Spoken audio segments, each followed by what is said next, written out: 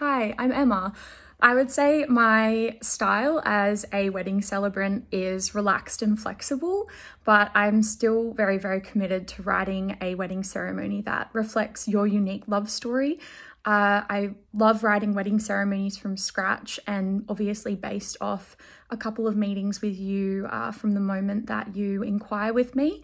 One of them being a completely no obligation Zoom meeting uh, where you can get to know me a little bit more and figure out if I'd be the right fit for you.